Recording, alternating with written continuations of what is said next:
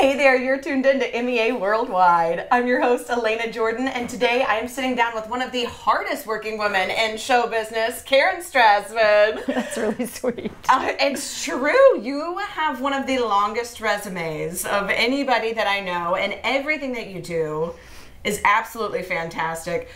One of the coolest things about you, though, is that you are also an international celebrity too because you're able to not only light up our screens on Creepshow, Preacher here, but also you got your start in France.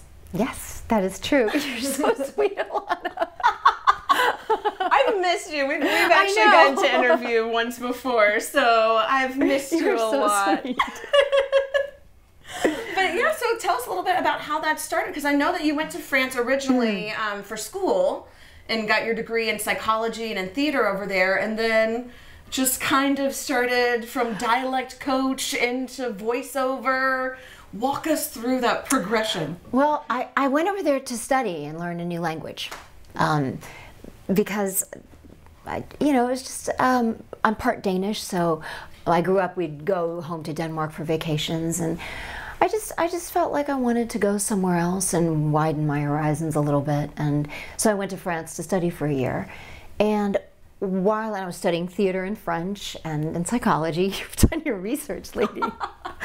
um, and, um, and while I was there, I saw um, an ad on a little bulletin board for a studio that was looking for American actors to follow an apprenticeship as a dialect coach for a studio that existed in France that doesn't exist anymore called Studio VOVF that coached French actors to act in English for the camera um, because there were so many co-productions that come into town in France and actors in France need to be able to act in English in order to book those kind of jobs. So I took the apprenticeship and it I was just really good at it. I mean, it was a fluke. and there's a lot of things I'm not very good at, so it was very lucky. Um, but and, they offered me a full-time job the following year as one of their main dialect coaches, as the second dialect coach. And I thought, well, I can go back and get my psychology degree in the United States, or I can stay here in Paris, in the middle of the city, in my little apartment near Saint Michel, right near Notre Dame, with my little um, big brown bike that I ride everywhere, and stay here another year and coach actors. And um, so I did. And while I was doing that, they also sent me to set to coach actors on set. And one of the directors for one of the TV shows I was um, coaching on, he said, "Oh, little Karen, she's so cute. We give her a role." So I got a role in a French TV show and I got an agent. And um, I just ended up being really, really happy there. And I enrolled in the French National Royal Conservatory of Acting, which is like the biggest acting school in France, where the government actually funds you to go there. And so I studied, you know, French theater in French. So I got to I wouldn't say perfect my French, but you know, I got pretty damn good. Um, and and I studied Molière and even Shakespeare in French and Racine and all of the classics and fencing and voice work and I learned horseback riding there. It was really really magical. So, what brought you back to the States? Um, I was I should put this over my shoulder, I guess, right? Um, I so I was doing television and film and theater and a lot of voiceover there. What, what brought me back to the States is that um, my mom died at the age of 59 of cancer. And she got cancer at the age of 56. And it was a time in my life where I realized, you know, shit happens. And I thought, you know, life is not always as we expect and might not be as long as I expect. And I kind of went, are there things that I've always wanted to do that I have put off? Or are there dreams that I've had that I've ignored? And I kind of made a mental list and looked through, and I realized that ever since I was a little girl, I'd always wanted to work in, in American TV and movies. And I was kind of, I, things were going so well in France that I didn't really think about it. And I also had this little voice in my head saying, You're not pretty enough, you're not talented enough, you're not good enough. And so it just seemed safer to avoid that. And I thought, you know, life is maybe shorter than, and I have a choice. I have a choice is just to stay here and enjoy a lovely life that I have, except that I wasn't growing as much creatively anymore because I'd gotten in a comfort zone, or um, take a risk. And I, I did that deathbed exercise where I imagined myself on my deathbed going, would I regret more um, just not going and never knowing? Or would I regret more going and failing? And I realized that it would, I would regret more never having tried for my dream. I love that. And I thought even even if I fail, that would be better than never daring to try. So um, I, at an older age, I went to Hollywood. I came here. Um, I knew one person. I knew one person, and I just, I just, you know, somebody said meet this person, and I, you know, uh, because I had had years and years of voiceover and a lot of experience, I got a voiceover agent very quickly, and because I'd been doing so much TV and film, I did get a on-camera agent very quickly, and you know, I just walked the walk, and I got into American acting classes, and I took meetings and I just did student films and you know kind of had to start out all over again in some ways. Um, but I, I have never regretted it for a second. Well, you have definitely, definitely succeeded by all accounts. Uh, you mentioned you kind of made a mental list of some things to check off. What are some of the things that you are most proud of that you can kind of put that check mark by? Because you've done everything. You've done video games, you've done, you know, drama, you've done comedy, you've done horror, you've done everything. I mean, when people are going to celebrate in France and go to the Louvre, you're the voice that they hear going through. I mean, well, I don't know if it is anymore, but yeah. But I mean, you. I mean, you have been making impacts on people's lives for years now. What are some of the accomplishments of your many, many, many that you have that you personally are most proud of? Um, I'd say um, when my nieces and nephews were little kids going to their house um, up in San Francisco and hearing them say, Auntie Karen, will you read us a book and will you do the voices? Um, and getting to do those voices for them and seeing them laugh and smile. That's probably my biggest accomplishment. and your versatility is just absolutely amazing. Every time that I see you or hear you, it's a complete it's never Karen, it is a full character that you have completely fleshed out. It's insanely amazing. What is your process for for that? I mean, because you've done such diverse things, do you have a different process when you're going in for voiceover than when you're going in for live action? Um, I, th- I think it's I think it's about I'm most successful at it because I have different processes that haven't worked as much in the past. I'd say um, the the formula for not working is trying to do the right thing and please people. The formula that really seems to work is when I approach it like a, a kid and go like what would be fun here you know so if i approach it like a kid and go you know you know if i you know if i were an evil villain what would i be like you know if i was you know a little gnome what would it be like to be a gnome and and i think approaching it from a playful perspective you know um, when i did uh, preacher and i played the evil german scientist um, uh, Dr. Lois Slotnick. Um, when I did the audition, they didn't even know what they wanted when they put out the audition. And um, when I auditioned, they just wanted some scientist. And I was the one who thought, I, and I did an audition, and I thought it was okay, an American voice and everything. And I said to the person who was taping me, I said, you know what? I'm just jonesing to do this just for myself with a German accent because it just it feels like it would work. And and we did and we looked at it we are like that's kind of cool. Let's submit that. Oh and oh and that and that's what booked. Um, I had no idea that you came up with Dr. Slotnick yeah, being German. Yeah, yeah, I just always assumed that was in the script. Mm-mm, mm-mm. Wow. They we altered they altered the script a little bit when I got on set. We talked about the character and stuff. Yeah. I Yeah. heard that you even helped pick out the glasses and everything yeah, too, right? Yeah, yeah. The director and I went and we looked at, you know, what would be the exact right glasses, and that is kind of what made the character pop. Um, and, and also that kind of stuff, like for me, a lot of the times, not always, but you know, props and costumes, it you kind of like you kind of like settle inside it and you know oh you know all of a sudden you're inside another human being that has parts of me in it you know and it's sort of the same thing very much the same thing for the character i just did in Creepshow Yes.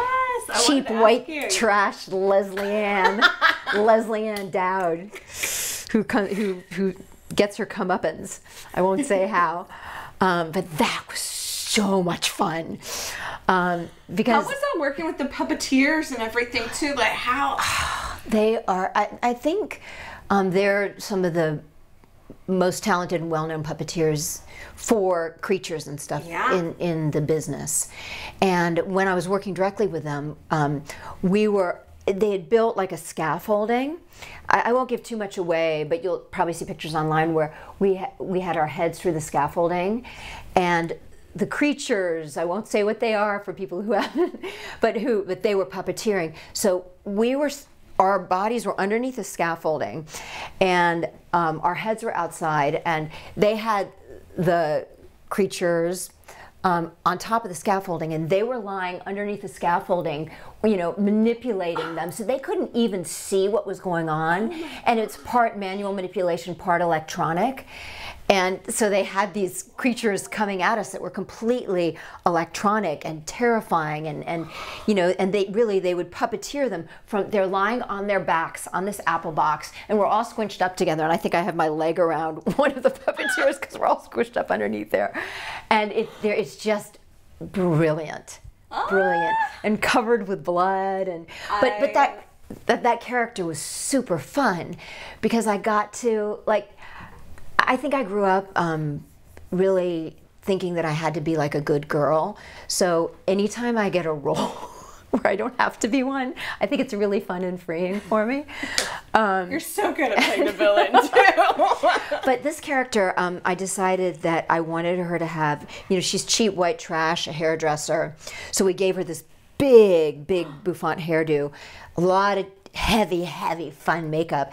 And I decided I wanted to have really long nails like Kathy Baker in Edward Scissorhands.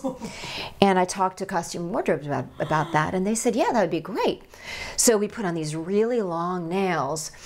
The only problem, which was so much fun, because again, that in itself created the character. I love how involved you are in the You know? whole process of creating these characters. I mean, and it, it really shows because you just become these people. It's, Mm-hmm. really amazing. Fun. It's so much fun. I mean, it's like I feel like a kid playing make believe.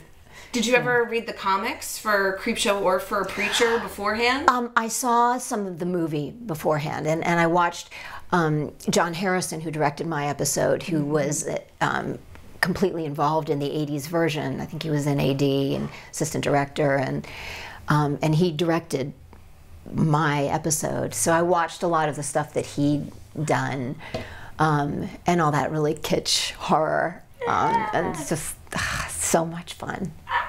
I um, I have to ask you too because you are definitely a very accomplished actress in all of English language productions, uh, but and also you know your your deep ties to French and French culture.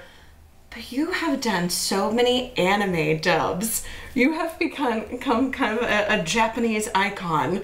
Do you uh, do you study Japanese at all? Do you are you kind of into any of the the Japanese culture as well? And how did that come about that you started becoming the voice of so many iconic characters in so many animes? It just, it was one of those things, like the thing about me becoming a dialect coach in Paris, it just happened. You know, I, I came, I arrived here in the States and I had all these voiceover skills, and somebody said, Oh, you should do anime, and recommended me for a job, and I auditioned for it and I booked it. And then that director said, Oh, you're really good at this, you should do this job, and they recommended me, and I auditioned for it and I booked it. And it just, it just happened you know and i didn't go like oh you know i want to and i didn't really even know too much about it so i had a real education in doing it you know i just i really i just love voiceover and I just love cartoon characters and all that. So it's just another genre for me. And I've had a couple opportunities almost to go to Japan to do motion capture and stuff like that there. And um, either they didn't go through or I, I had another gig and I had to choose between them. So I still haven't been to Japan and I really, really look forward to that. And I've learned a lot about Japanese culture through anime but it's really it's it's like it's anime that has been my window into into Japanese culture. And you know now I work with a lot of Japanese clients and kind of feeling that culture and enjoying that and you know and and I, I just I feel oh, I learn a lot from them and I learn a lot from the fans who know a lot often more than I do about do you have it. a favorite series now that you've you've been in so many? Oh, I, there's so many that I love for so many different reasons. One that I'll quote, which is not as well known, but it's probably my favorite anime that I've done ever, is called Monster. Monster, yes. And for hardcore fan, core fans, it's just it's, and I think Guillermo del Toro was going Nina to make Fortner. it into a movie once. Nina Fortner, you're good. Holy cow! Monster is great though. Here, I mean, Nina is That's fantastic. it's, I think so. it's my favorite anime that I've ever done, and it's it's too bad that it didn't get as much distribution because I just think it's it's a it's a real there's there's a lot of anime like that of any shows are great entertainment, but there's a lot of anime series that are literal art, and that to me is an art. Um, but there's there's just uh, like I still have a huge affection for uh, affection for Code Geass and Kallen, um, Bleach where I play Soi Fon, A Lucky Star where I played Miyuki is just so endearing. Um, you know, Hunter x Hunter has been really fun. There's just uh, you know, and I'm gonna like leave you today and go. I should have mentioned this, that, and you know, um, and Persona also. I have a real affection for both um, Igus and um, and Nanako, and fans just have a huge affection for them. So Is it ever overwhelming when you go out to conventions and things and seeing people all dressed up as your characters? Um, it's just sweet. It's so it's so sweet, and, also because when we work, we're in the studio. So I'm in the studio with an eng- sound engineer and the director, and then maybe maybe a whole bunch of clients or maybe clients on the phone. Um, but it's a very isolated process. So I'm I'm not even aware that people that it touches people or that people care about it. You know, until I, you know, get you know social media messages and stuff from fans or until I go to conventions and and you know it's it's really humbling to see how much these things affect people's lives. You make a big impact, That mm-hmm. is for sure. Also, in video games, which are such a huge, huge culture too. Do you ever play any games as yourself? Have you ever played I am and such a bad geek. I'm a horrible geek. I'm like, I, I really need to like up my game. um, I get so busy because just in terms of all of the work I'm doing, you know, in preparing auditions and learning lines late at night, you know, it, that I just I haven't had time to play games. Although apparently, um, the cast from Resident Evil 2, what the Yes. sh- uh, the game that just came out. We're going to be playing it together and doing a thing online or something. Yeah, yeah. I just had dinner with all of them last night, and we're going to be doing a, a thing where we play like. So, but I don't. I don't have time. I think I played Mortal Kombat a couple years ago at a con, and I was I was horrible at. I like I I was horrible at it. Uh, my nephew is a, a gamer, and um, he's kind of tried to explain to me how some of that works. And I'm just like, I need to take a class or something. Well, since you have lent your voice to Mm. so many different projects all over the spectrum, has there ever been a time that you've been caught off guard and heard your own voice in something and gone, oh, wait, that's me? Sometimes, yeah. I've I've sometimes flipped the channel on a on an airplane looking for a film or TV to watch, and like twice it's happened that I think once was Silicon Valley, and I was, and um, sometimes. Sometimes I won't recognize my voice when they will play us a voice reference during a recording, and they'll go, "Oh, this is this is the character." If I hadn't done it for a while, and I'll be like, really? That are you sure you didn't get the wrong actor in that? It's that's and I'll be like, no, no, no, that's you. Then that's kind of that's fun when that happens. I love that you have done so many voices. There are times that you literally don't even recognize your own voice. incredible, incredible. Well, there's so much to keep up with with you. Where can fans keep up with you online? Um, fans can keep up with me on Instagram at Karen Strassman, Twitter at Karen Strassman, uh, fan page, uh, my Facebook fan page, Karen Strassman fan page. um, and I have a website, karenstrassman.com. I'm, I'm lucky because I don't think there's anybody in the world who has my name, so I get to use it for myself. I feel like maybe you've just done so many things. Anyone who did have the name just changed it. They were like, she's one. She's the only Karen Strassman. There can be one. but, Anna, you, you um, you've done your homework. Oh my gosh. Thank you. It's just, I love getting to talk to you. I love getting to talk to you too. Thank you so much yeah. for coming yeah. in. And thank you guys for tuning in as well. You can check out more of our interviews at MEA Worldwide. That's MEAWW.com. Until next time, I'm Elena Jordan. Have a good day.